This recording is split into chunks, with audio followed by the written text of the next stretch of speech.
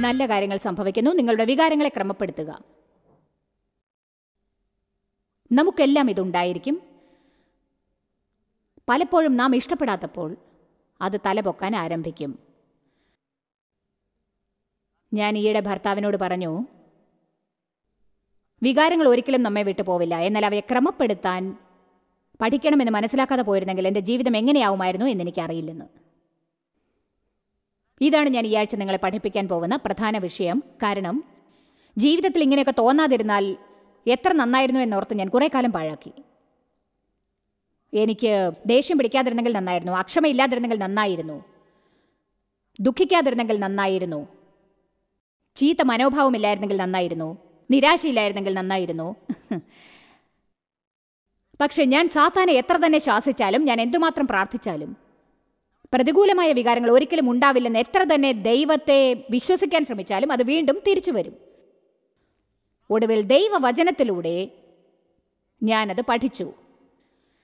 ഗലാത്തിർ അഞ്ചു പറയുന്നു അവൻ നമുക്ക് ആത്മനിയന്ത്രണം എന്ന ഫലം നൽകിയിട്ടുണ്ട് എന്ന്. ആത്മ നിയന്ത്രണം വാസ്തവത്തിൽ രണ്ട് തിമോത്തിയോസ് ഒന്നാം അധ്യായം ഏഴാം വാക്യം പൗലോസ് തിമോത്തിയോട് പറഞ്ഞു ദൈവം നമുക്ക് അതിന്റെ ആത്മാവിനെ തന്നിട്ടില്ല. പകരം ശക്തിയും സ്നേഹവും നല്ലൊരു മനസ്സും നൽകിയിട്ടുണ്ടെന്ന് വിശദീകരിച്ച വേദപുസ്തകത്തിൽ ഇങ്ങനെ പറയുന്നു. ശക്തിയുടെയും സ്നേഹത്തിന്റെയും ശാന്തതയുടെയും സമീകൃത മനസ്സിന്റെയും ആത്മനിയന്ത്രണത്തിന്റെയും ആത്മാവിനെ നൽകിയിരിക്കുന്നുവെന്ന് ദൈവം നമുക്കൊരാത്മാവിനെ തന്നിട്ടുണ്ട് അഥവാ ഫലം നമുക്ക് ആത്മനിയന്ത്രണം നൽകിയിട്ടുണ്ട്. പലരും സ്വയം നിയന്ത്രിക്കാൻ ശ്രമിക്കുന്നതിന് പകരം മറ്റുള്ളവരെ നിയന്ത്രിക്കാൻ ശ്രമിച്ച് സമയം പാഴാക്കുകയാണ് എന്നത് ശോചനീയമാണ്. ഹലലുയ സ്നേഹത്തിന്റെയും ശക്തിയുടെയും നല്ലൊരു മനസ്സിന്റെയും ആത്മാവാണത് അഥവാ ആത്മനിയന്ത്രണത്തിന്റെ നമ്മെ ചവിട്ടിമെതിച്ചില്ലാതാക്കാൻ ശ്രമിക്കുന്ന സാത്താന്റെ മേലുള്ള അധികാരമാണത്. മറ്റുള്ളവരോടുള്ള സ്നേഹം നമ്മോട് തന്നെയുള്ള നിയന്ത്രണം. എന്നാൽ ദുഃഖം ഇതാണ്. ജനങ്ങൾ സ്വയം സ്നേഹിക്കുന്നു മറ്റുള്ളവരെ നിയന്ത്രിക്കുന്നു എന്നിട്ട് ഈ ശക്തിയെ തെറ്റായി ഉപയോഗിക്കുന്നു എല്ലാം കൂടി കൂട്ടിക്കുഴയ്ക്കുന്നു. ഭയത്തിന്റെ ആത്മാവിനെ അല്ല സ്നേഹത്തിന്റെയും നല്ലൊരു മനസ്സിന്റെയും ശക്തി അഥവാ ആത്മനിയന്ത്രണത്തിന്റെ ആത്മാവിനെ എല്ലാവരും ഉറക്കെ പറയൂ എനിക്ക് ആത്മനിയന്ത്രണമുണ്ട്. നിങ്ങളൊരു ക്രിസ്ത്യാനിയാണെങ്കിൽ ഒരിക്കലും നിങ്ങളുടെ ജീവിതത്തിൽ ഇങ്ങനെ പറയില്ല എനിക്ക് എന്നെ നിയന്ത്രിക്കാൻ സാധിക്കുന്നില്ലെന്ന്. കാരണം നിങ്ങൾക്ക് സ്വയം നിയന്ത്രിക്കാനാവും നിങ്ങൾക്കതിന് കഴിയും നിങ്ങളത് പരിശീലിക്കാൻ ആരംഭിക്കും. അപ്പോൾ ആ ഫലം വളർന്നു വലുതാവും. ആത്മനിയന്ത്രണം നിങ്ങളുടെ ജീവിതത്തിലെ ഏറ്റവും മികച്ച സുഹൃത്തായി മാറും. ആത്മനിയന്ത്രണമാണ് നിങ്ങളുടെ ജീവിതത്തിൽ എല്ലാം തൽസ്ഥാനത്ത് നിർത്തുന്നത്. ഗലാത്തിർ അഞ്ചിലുള്ള ആത്മാവിന്റെ ഫലത്തെക്കുറിച്ചുള്ള ലിസ്റ്റ് വായിച്ചാൽ അറിയാം. ആദ്യം സ്നേഹത്തിൽ നിന്ന് തുടങ്ങുന്നു. സ്നേഹം സന്തോഷം സമാധാനം ക്ഷമ നന്മ ദയ താഴ്മ വിശ്വസ്തത ആത്മനിയന്ത്രണം. ഏതോ വിട്ടുപോയി പക്ഷേ ഞാൻ നയം വ്യക്തമാക്കിയാണ്. ആദ്യത്തേത് സ്നേഹമാണ് ആത്മനിയന്ത്രണമാണ് അവസാനത്തേത്. ദൈവം ഒരിക്കൽ കാണിച്ചു തന്നു സ്നേഹമാണ് എല്ലാറ്റിന്റെയും തുടക്കം മറ്റെല്ലാം സ്നേഹത്തിൽ നിന്ന് ഉണ്ടാവുന്നു. സ്നേഹം സന്തോഷം സമാധാനം ക്ഷമ. ആത്മനിയന്ത്രണമാണ് ഏറ്റവും അവസാനം. ഇത് പുസ്തകത്തിന്റെ അവസാനം പോലെയാണ്. ആത്മനിയന്ത്രണമില്ലെങ്കിൽ മറ്റുള്ളവയൊന്നും പ്രവർത്തിക്കില്ല. ഒരു ഭാഗത്ത് സ്നേഹമില്ലെങ്കിലും ഒന്നും പ്രവർത്തിക്കുന്നതല്ല. അവസാനം ആത്മനിയന്ത്രണമില്ലെങ്കിൽ എങ്ങനെയാണ് എനിക്ക് ആത്മനിയന്ത്രണമില്ലെങ്കിൽ സമാധാനം ഉണ്ടാവുക? എനിക്ക് ആത്മനിയന്ത്രണമില്ലെങ്കിൽ എങ്ങനെയാണ് വിശ്വസത ഉണ്ടാവുക? എനിക്ക് ആത്മനിയന്ത്രണമില്ലെങ്കിൽ എങ്ങനെയാണ് താഴ്മ കാണിക്കുക? അതെനിക്ക് ഉണ്ടാവണം. അതുകൊണ്ട് ആത്മനിയന്ത്രണത്തെപ്പറ്റി നാം ചിന്തിക്കണം.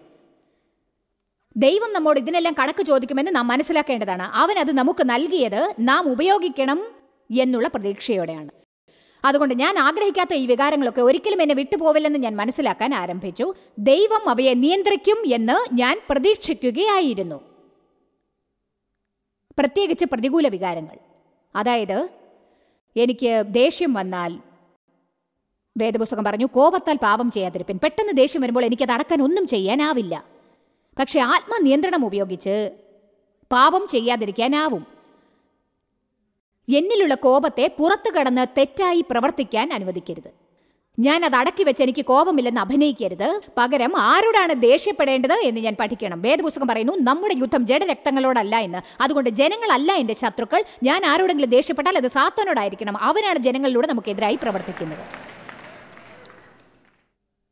എങ്ങനെയാണ് എനിക്ക് സാത്താനെ പിന്തിരിപ്പിക്കാനാവുക? നന്മയാൽ തിന്മയെ ജയിക്കണം. അതാണ് ഇവിടെ ബൈബിൾ പറയുന്നത്. ശത്രുക്കളെ അനുഗ്രഹിക്കുക. ആരെങ്കിലും നിങ്ങളോട് തെറ്റായി പെരുമാറിയാൽ നമുക്ക് ഉടനെ ദേഷ്യം വരും.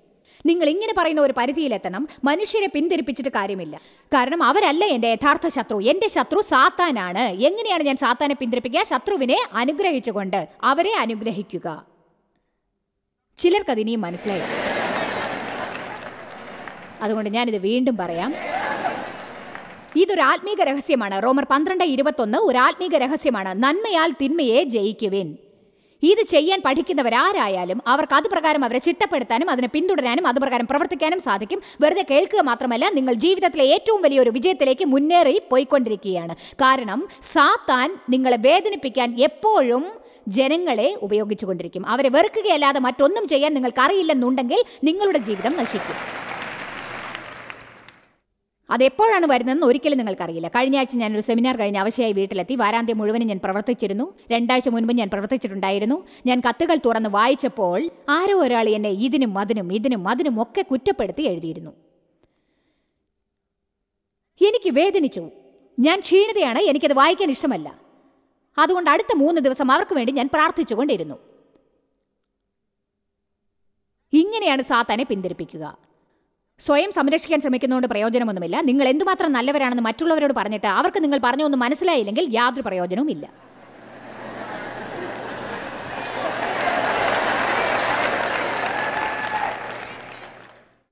ഞാനിത് വീണ്ടും പറയാം. ഇതിൽ നിന്ന് നല്ലൊരു കാര്യം മനസ്സിലാക്കാനുണ്ട്.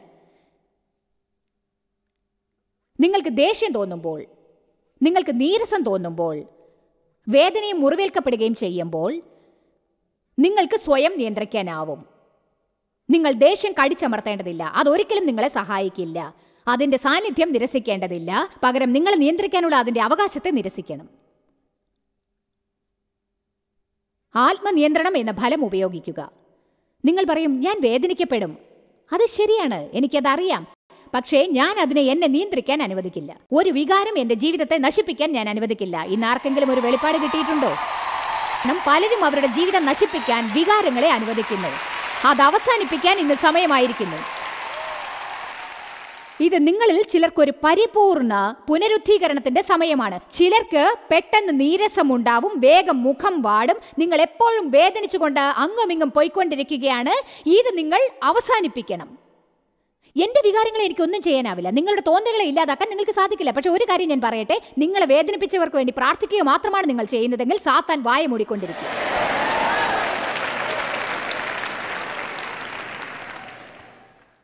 ഞാനിത് നിങ്ങൾക്ക് മനസ്സിലാവാൻ വേണ്ടി ഒന്നുകൂടി പറയാൻ പോവുകയാണ്. നിങ്ങൾക്ക് പ്രതികൂല വികാരങ്ങൾ ഉണ്ടാവുമ്പോൾ അവ നിങ്ങളെ നിയന്ത്രിക്കാൻ അനുവദിക്കരുത്. നിങ്ങളുടെ യുദ്ധം ജനങ്ങളോടല്ല. എഫ് എസ് ആറ് പന്ത്രണ്ട് നമ്മുടെ പോരാട്ടം ജഡരക്തങ്ങളോടല്ല വാഴ്ചകളോടും അധികാരങ്ങളോടും ഈ അന്ധകാരത്തിന്റെ ലോകാധിപതികളോടും അത്രേ.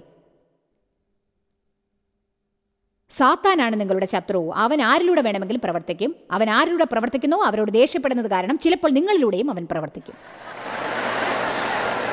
എന്നിലൂടെ. നാം എല്ലാവരും ജനങ്ങളെ വേദനിപ്പിക്കാൻ വേണ്ടി പലതും പറയും. പെരുമാറാൻ പാടില്ലാത്തതുപോലെയൊക്കെ പെരുമാറും. നാം മറ്റുള്ളവരോട് എന്താണ് ചെയ്യുന്നതെന്ന് ഓർക്കാതെ മറ്റുള്ളവർ നമ്മോട് ചെയ്ത കാര്യങ്ങളെക്കുറിച്ച് കൂടുതൽ ചിന്തിച്ചുകൊണ്ടിരിക്കും. ഇന്ന് ഞാൻ ആരംഭം മുതൽക്കേ നന്നായി പ്രസംഗിക്കുന്നുണ്ടല്ലേ? നാം ഇന്നൊരു പരിധിയിലേക്ക് പ്രവേശിക്കാൻ പോവുകയാണ്. ആമേൻ. നമ്മുടെ പോരാട്ടം ജഡരക്തങ്ങളോടല്ല സാത്താനോടായിരിക്കണം. ശരി ജോയ് സിസ്റ്റർ ഞാൻ അത് വിശ്വസിക്കുന്നു. എന്റെ യുദ്ധം സാത്താനോടാണ്. ഞാൻ എങ്ങനെയാണ് സാത്താനെ തോൽപ്പിക്കുക? നിങ്ങളെ വേദനിപ്പിച്ചവരോട് നന്നായി പെരുമാറുക. ഞാനൊരു കാര്യം പറയട്ടെ? സാത്താനെ തോൽപ്പിക്കണമെങ്കിൽ നിങ്ങൾ വികാരങ്ങളെ ക്രമപ്പെടുത്താൻ പഠിക്കണം. കാരണം നിങ്ങളോട് സഹകരിക്കുന്ന ഒരൊറ്റ വികാരങ്ങൾ പോലും നിങ്ങൾക്ക് ഉണ്ടാവില്ല ഞാൻ പറയുന്നത് മനസ്സിലായോ? ശത്രുക്കൾക്കായി പ്രാർത്ഥിക്കുമ്പോഴും അവരെ അനുഗ്രഹിക്കുമ്പോഴും നിങ്ങളോട് സഹകരിക്കാനായി ഒരൊറ്റ വികാരം പോലും ഉണ്ടാവില്ല. അവരെക്കുറിച്ച് സംസാരിക്കണമെന്ന് തോന്നും പക്ഷേ സംസാരിക്കാതിരിക്കാൻ നിങ്ങൾ സ്വയം ചിട്ടപ്പെടുത്തും. കാരണം നിങ്ങൾക്ക് ആത്മ നിയന്ത്രണമുണ്ട്. പറയൂ എനിക്ക് ആത്മനിയന്ത്രണമുണ്ട് എല്ലാവരും ഇത് പറഞ്ഞില്ല? ചിലരിത് വേണമോ എന്ന് ഇനിയും തീരുമാനിച്ചിട്ടില്ലല്ലേ? എല്ലാവരും ഒരുമിച്ച് പറയൂ എനിക്ക് ആത്മനിയന്ത്രണമുണ്ട്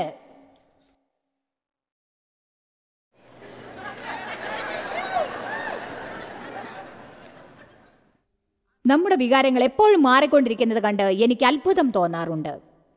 അതെന്നെ അത്ഭുതപ്പെടുത്തുന്നു. എനിക്കിത് ഇനിയും മനസ്സിലാവുന്നില്ല. നാം നല്ല മനോനിലയോടെ കിടക്കാൻ പോവും. സ്തോത്രം ദൈവമേ ഈ ദിവസം നന്നായിരുന്നു. അടുത്ത ദിവസം രാവിലെ എഴുന്നേൽക്കുമ്പോൾ ആർക്കെങ്കിലും ഒരൊറ്റ അടി കൊടുക്കണം എന്ന് തോന്നും. അഥവാ കിടക്കുമ്പോൾ വളരെ നല്ല മൂഡിലായിരിക്കും. പക്ഷേ എഴുന്നേൽക്കുമ്പോൾ ചിലപ്പോൾ ശാരീരികമായി നല്ല മൂഡിലാണ് കിടക്കാറുള്ളത്. പക്ഷെ എഴുന്നേൽക്കുമ്പോൾ മുഷിപ്പുണ്ടാവും. എന്താണ് ഒരു ഒറ്റ രാത്രി കൊണ്ട് ഉണ്ടായത്? എനിക്ക് മനസ്സിലാവുന്നില്ല.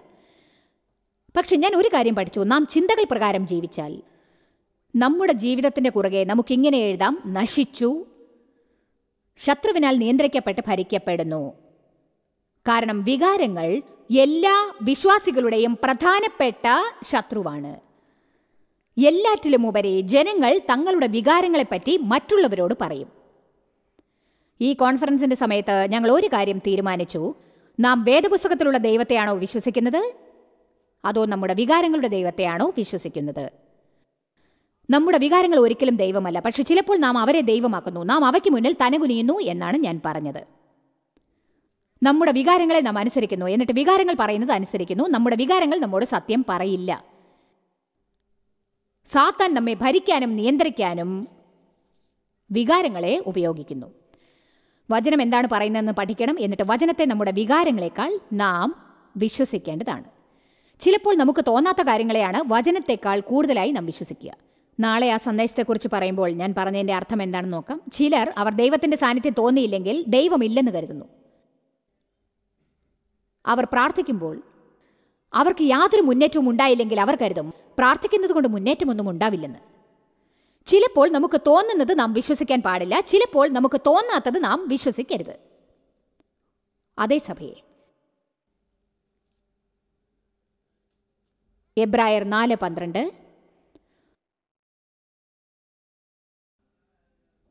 നാം ആത്മാവിനെയും ഹൃദയത്തെയും വേർതിരിക്കുന്നത് എങ്ങനെ എന്ന് പഠിക്കണം.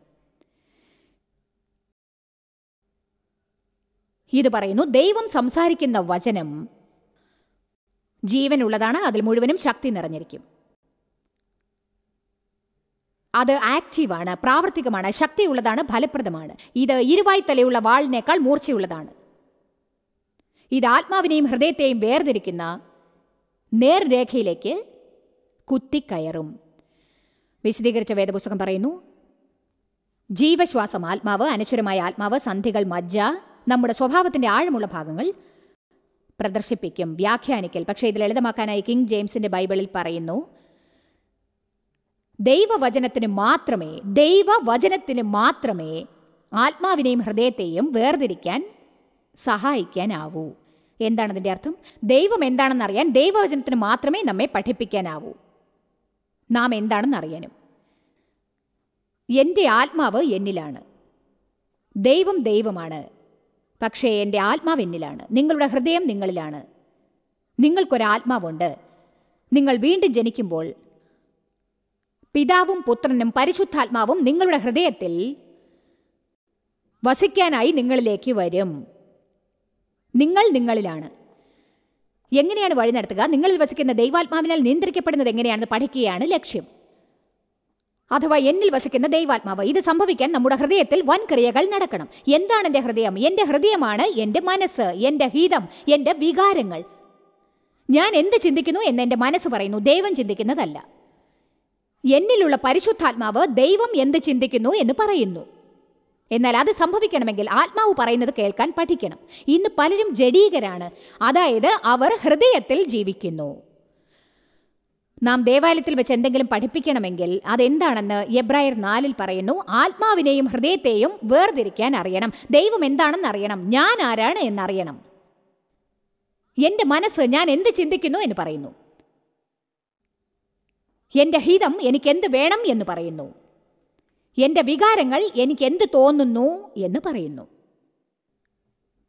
നാം പലപ്പോഴും ആഴമില്ലാത്ത ജഡീകതയുടെ പരിധിയിൽ കുറെ കാലം ജീവിച്ചുകൊണ്ടിരിക്കുന്നു. ആഴമില്ലാത്തത് എന്നാൽ ജഡം എന്നാണ് അതിനർത്ഥം. നമ്മുടെ ആത്മാവ് നമ്മുടെ ജീവന്റെ ഏറ്റവും ആഴത്തിലാണുള്ളത്. ഞാനിന്ന് നിങ്ങളെ യേശു ശിഷ്യന്മാരോട് ആഴത്തിലേക്ക് ചെല്ലാൻ പറഞ്ഞ വചനത്തെക്കുറിച്ച് പറയാം. ആഴത്തിലേക്ക് ചെല്ലൂ. യേശു പറഞ്ഞു ആഴത്തിൽ വലയിറക്കിയാൽ പെരുത്ത് മീൻകൂട്ടം പിടിക്കാനാവും എന്ന്. ഇതൊരു നല്ല ഉദാഹരണമാണ്. പക്ഷെ നമുക്ക് ഇതിലൊരല്പം കൂടി ആത്മീയതയുണ്ടാക്കി നമ്മുടെ ഉദ്ദേശം നടപ്പിലാക്കാം. ഇവിടെ യേശു പറഞ്ഞത് മീൻപിടുത്തവുമായി ആത്മാവിലേക്ക് ജനങ്ങളെ പിടിക്കുന്നതിനെ താരതമ്യപ്പെടുത്തിയാണ്. നാം ഇന്ന് ജനങ്ങളോട് ഇങ്ങനെ പറയണം. ആത്മാവിന്റെ ആഴത്തിലേക്ക് വരുവിൻ. ആഴമില്ലാത്ത ജഡീക സാമ്രാജ്യത്തിൽ നിന്ന് പുറത്തു കടക്കൂ. നിങ്ങൾക്ക് എന്ത് വേണം എന്ത് തോന്നുന്നു എന്ത് ചിന്തിക്കുന്നു എന്ന ആഴമില്ലാത്ത സാമ്രാജ്യത്തിൽ ജീവിക്കാതെ അനുഗ്രഹത്തിന്റെ വലിയൊരു കൊയ്ത്തിന് തയ്യാറാവുക. ഇതിൽ നിങ്ങളുടെ ജീവിതത്തിലുള്ള ദൈവത്തിന്റെ അളവില്ലാത്ത സാന്നിധ്യവും നിങ്ങളുടെ ദൈനംദിന പണപ്രശ്നങ്ങൾ ദൈവം പരിഹരിച്ചു തരുന്നതും അടങ്ങിയിരിക്കുന്നു. ദൈവം നിങ്ങളെ എല്ലാ സാമ്രാജ്യത്തിലും അനുഗ്രഹിക്കാൻ ആഗ്രഹിക്കുന്നു. അവനിൽ നിന്ന് നാം കേൾക്കണമെന്ന് ആഗ്രഹിക്കുന്നു. രഹസ്യങ്ങളും നിഗൂഢതകളും നിങ്ങളെ അറിയിക്കാൻ ആഗ്രഹിക്കുന്നു. ജ്ഞാനത്തിന്റെയും അറിവിന്റെയും വെളിപ്പാടുണ്ടാവണം എന്ന് ആഗ്രഹിക്കുന്നു. നിങ്ങൾ അവനെയും അവന്റെ ഉയർത്തെഴുന്നേൽപ്പിന്റെ ശക്തിയെയും അവന്റെ വഴികളെയും മനസ്സിലാക്കി ജനങ്ങൾക്ക് അനുഗ്രഹമായി മാറണമെന്ന് ആഗ്രഹിക്കുന്നു. നിങ്ങൾ ആരോഗ്യവാന്മാരെ ഇരിക്കണമെന്ന് ആഗ്രഹിക്കുന്നു. നിങ്ങൾക്ക് സമൃദ്ധി ഉണ്ടാവണമെന്ന് ആഗ്രഹിക്കുന്നു. നിർമ്മാണ ശക്തി ഉണ്ടാവണമെന്നും. പക്ഷെ നിങ്ങൾ എന്ത് ചിന്തിക്കുന്നു? എന്ത് തോന്നുന്നു? എന്താണ് ആവശ്യം? എന്നൊക്കെയുള്ള ആഴമില്ലായ്മയിൽ ജീവിച്ചാൽ ഇത് ലഭ്യമാക്കാൻ സാധിക്കില്ല. എനിക്ക് വേണം എനിക്ക് തോന്നുന്നു എനിക്ക് വേണം എനിക്ക് തോന്നുന്നു എനിക്ക് വേണം എനിക്ക് തോന്നുന്നു. നിങ്ങൾ ആദ്യം സ്വയം കേൾക്കണം. എന്നിട്ട് മറ്റുള്ളവർ പറയുന്നത് കേൾക്കണം. നിങ്ങൾ പറയുന്നത് കേൾക്കുക. അതാണ് നാം എപ്പോഴും സംസാരിക്കുന്നത്. എനിക്ക് വേണം എനിക്ക് തോന്നുന്നു എനിക്ക് വേണം എനിക്ക് തോന്നുന്നു എനിക്ക് വേണം എനിക്ക് തോന്നുന്നു. ഞാൻ എന്താണ് ചിന്തിക്കുന്നതെന്ന് പറയാം. എനിക്ക് എന്താണ് വേണ്ടതെന്ന് പറയാം. ഇതാണ് എനിക്ക് തോന്നുന്നത്. ഇത് ആഴ്ചയിൽ ഏഴ് ദിവസവും തുടർന്നുകൊണ്ടേയിരിക്കും. എനിക്ക് വേണം എനിക്ക് തോന്നുന്നു എനിക്ക് വേണം എനിക്ക് തോന്നുന്നു എനിക്ക് വേണം എനിക്ക് തോന്നുന്നു എനിക്ക് വേണം.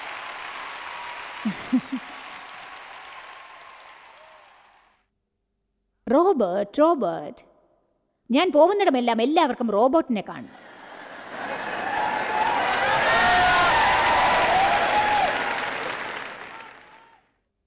കാണാം. പക്ഷെ ഇപ്പോൾ എനിക്കത് ചെയ്യാൻ തോന്നുന്നില്ല. അതൊരു നല്ല ആശയമാണെന്ന് തോന്നുന്നില്ല ഞാനത് ഇപ്പോൾ ചെയ്യില്ല ദൈവം എന്നോട് പറഞ്ഞാലല്ലാതെ ഞാനത് ചെയ്യില്ല. ഒരുപക്ഷെ പിന്നീട് ചെയ്തേക്കാം പക്ഷേ എന്റെ നയം ഇതാണ്. എനിക്ക് തോന്നുന്നു എനിക്ക് വേണം എന്ന സാമ്രാജ്യത്തിൽ നാം ജീവിക്കുന്നു. അതിൽ നാം മുഴുവനായി കുടുങ്ങുമ്പോൾ ദൈവത്തിന് ആവശ്യമായത് വിട്ടുപോകുന്നു. നമുക്ക് യോഹനൻ അഞ്ചാം അധ്യായം മുപ്പതാം വാക്യം ഒന്ന് നോക്കാം. ഇത് വളരെ അത്ഭുതകരമായ ഒരു വചനമാണ്.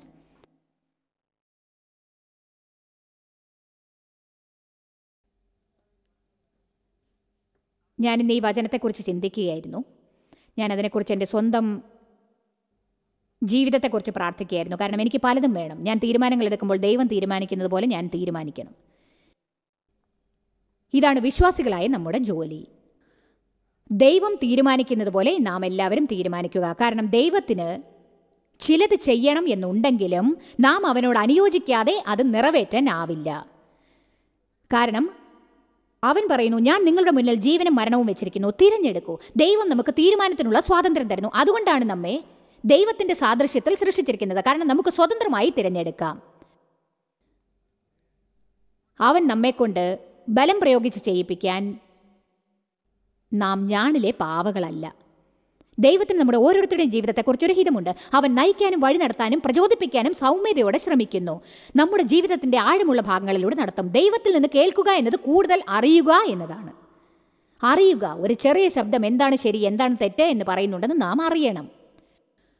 ഒരു ചർച്ച നടക്കുമ്പോൾ നിങ്ങൾ സംസാരിക്കാൻ പാടില്ലാത്തതായിട്ട് എന്തെങ്കിലും ഉണ്ടെങ്കിൽ അത് പറയാതിരിക്കാൻ നാം അറിയണം. ജനങ്ങൾ എപ്പോഴും എന്താണ് പറയാറുന്നോ? ഞാനിത് ചെയ്യരുതെന്ന് എനിക്കറിയാം. പക്ഷേ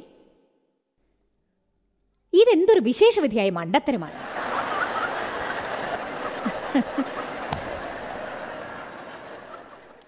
ഞാനിത് ചെയ്യരുത് എന്ന് എനിക്കറിയാം പക്ഷേ ഞാനിത് കഴിക്കരുതെന്നറിയാം പക്ഷേ ഞാൻ ഈ പണം ചിലവാക്കരുതെന്നറിയാം പക്ഷേ ഞാൻ ഈ വ്യക്തിയോട് ഇത് പറയരുതെന്നറിയാം പക്ഷേ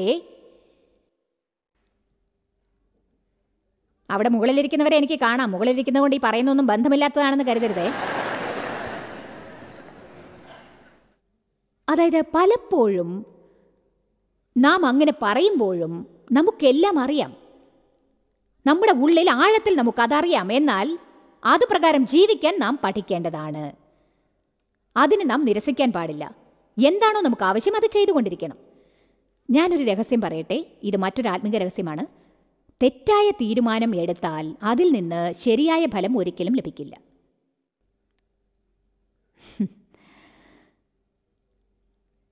ആമേൻ.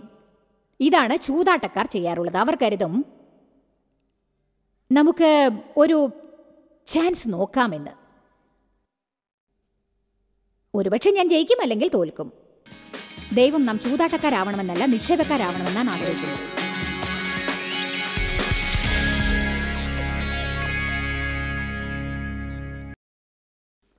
ഇന്നത്തെ ഉപദേശം വികാരങ്ങളെ ക്രമപ്പെടുത്തുന്നത് പഠിക്കുന്നത് എങ്ങനെ എന്നായിരുന്നു. നമുക്ക് വികാരങ്ങൾ ഉണ്ടാവണോ അതോ വേണ്ടേ എന്നതല്ല കാര്യം. തീർച്ചയായും നമുക്ക് വികാരങ്ങൾ ഉണ്ടാവും. വികാരങ്ങൾ തമാശയാണ്. ചിലപ്പോൾ നമ്മത് രസിക്കും ചിലപ്പോൾ രസിക്കില്ല. ചിലപ്പോൾ അത് സുഖമുള്ളതായിരിക്കും. ചിലപ്പോൾ അങ്ങനെ ആവില്ല. ചിലപ്പോൾ അവ ഓടിപ്പോവും. നമുക്ക് ആവശ്യമുള്ളപ്പോൾ അവയെ കാണില്ല. ചിലപ്പോൾ നമുക്ക് ആവശ്യമില്ലാതിരിക്കെ അത് അളവിലധികമായി ഉണ്ടാവും. അതുകൊണ്ട് നാം വികാരങ്ങളുടെ സ്വഭാവം എന്താണ് എന്നറിയണം. നാം ആത്മനിയന്ത്രണത്തിന്റെ ഫലത്തെക്കുറിച്ച് പഠിക്കണം. കാരണം ഈ വിഷയത്തിൽ നമുക്ക് തീർച്ചയായും പ്രലോഭനങ്ങൾ ഉണ്ടാവും. നാം ദൈവവചനം വിശ്വസിക്കണോ അതോ നമ്മുടെ തോന്നലുകളെ വിശ്വസിക്കണോ എന്ന് തീരുമാനിക്കേണ്ടി വരും. ചിലപ്പോൾ ഞാൻ ചോദിക്കാറുണ്ട് നിങ്ങൾ ബൈബിളിലെ ദൈവത്തെയാണോ അതോ വികാരങ്ങളുടെ ദൈവത്തെയാണോ വിശ്വസിക്കുന്നത്? എന്ന്. സാത്താൻ നമ്മുടെ വികാരങ്ങളിലൂടെ പ്രവർത്തിക്കാനും അവയുടെ മുന്നിൽ തലകുനിപ്പിക്കാനും സദാസമയം നമ്മിൽ പരിശ്രമിച്ചുകൊണ്ടിരിക്കും. എനിക്ക് ചെറുപ്പത്തിൽ ചീത്തയാക്കപ്പെട്ടത് കാരണം ജീവിതത്തിൽ വികാരപരമായി പല പ്രശ്നങ്ങളും ഉണ്ടായിരുന്നു. വികാര പ്രശ്നം ഉണ്ടാവണമെങ്കിൽ നാം ചീത്തയാക്കപ്പെടണമെന്ന് ആവശ്യമില്ല. ചിലർ മറ്റുള്ളവരെക്കാൾ പെട്ടെന്ന് വികാരാധീനരാവുന്ന പ്രകൃതക്കാരായിരിക്കും. നാം വികാരങ്ങളെ എങ്ങനെ നിയന്ത്രിക്കണം എന്ന് പഠിച്ചാൽ മാത്രം മതിയാവും. വികാരപരമായും ശാരീരികമായും സാമ്പത്തികമായും മാനസികമായും സാമൂഹ്യപരമായും ആത്മീകപരമായും എല്ലാ വിധത്തിലും തികവുള്ളവരാവണമെന്ന് ആഗ്രഹിക്കുന്നു. ഓർമ്മയിരിക്കട്ടെ നിങ്ങളുടെ എല്ലാ വേദനകളെയും യേശു സൗഖ്യമാക്കാൻ ആഗ്രഹിക്കുന്നു. തുടർന്ന് കാണും.